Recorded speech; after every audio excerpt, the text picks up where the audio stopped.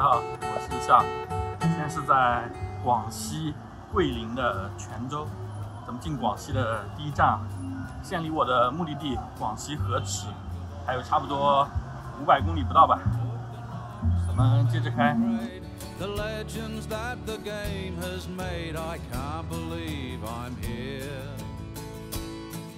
I'll wear the gold with the sleeve. 咱们在一个停车场歇一会儿。顺便给大家讲一下今天的话题，就是咱们在开车的时候，司机这个位置拍片的两个常用的机位，还有相应的装备。其实司机这个位置拍片哈，无非就是两个场景，一个是行驶的过程中朝前拍这个前面行驶的风景等等哈，再的话就是行驶的过程中对着咱们司机本尊来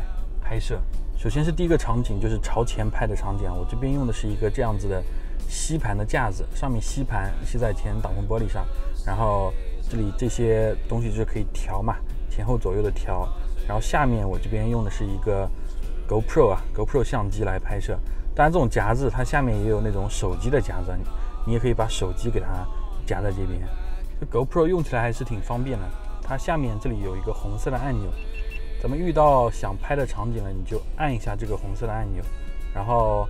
当然要打好提前量，因为你按下去之后，到它开始拍摄大概有个三秒左右的延迟，然后你呃拍完了之后，你就再按一下，它就会关机，然后停止拍摄。这 GoPro 好就好在它的防抖性能确实是非常的好，你的车哪怕再颠簸，它拍出来的画面也基本上还是比较稳定的。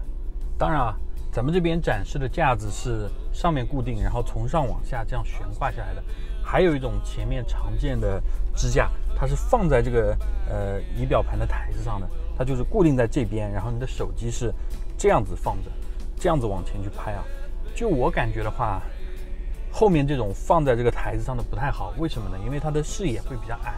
你拍出去的画面可能下面部分全都是你前面的引擎盖，那这样的话你的。呃，视野就不够开阔嘛，那你也不太可能说把你的相机给它往上翘起来，这样的话你就是冲着天上去拍了，就视角就比较奇怪了。OK，然后咱们讲第二个场景啊，第二场景就是拍咱们司机本尊。那拍司机本尊最简单的方法，当然就是把前面这个镜头给它转过来拍啊，非常的直接。这个画面就是把 GoPro 给它转过来对着咱们司机拍的画面啊，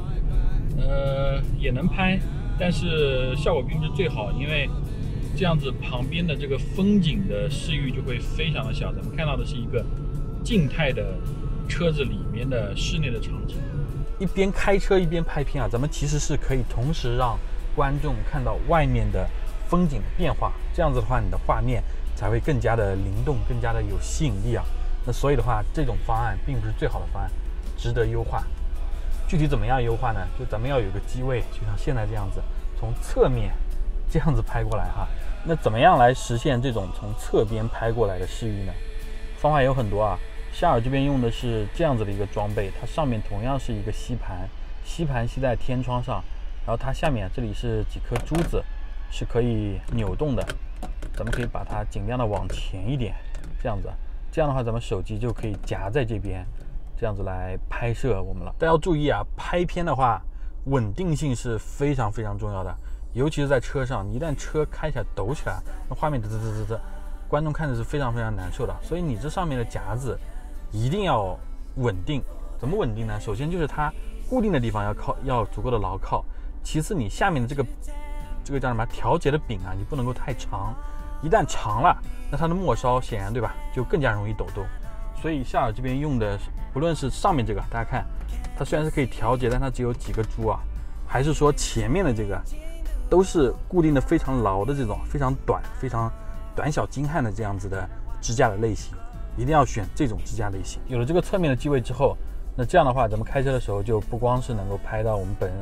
而且车窗上的风景的变化的面积也是非常的大，看起来的话，画面就会比较有吸引力。大家看，这个就是我在车里面用。这个侧边的机位来拍的画面哈，那这个画面里面在能够拍到咱们司机本尊的人头的同时，旁边的这个外面风景的变化的视域也是非常的大的，包括前面这一小块的地方也是能够看得清楚的。不过它有一定的问题啊，因为咱们拍片的时候，你最好时不时是要看一下镜头的，这样的话也是跟观众的一种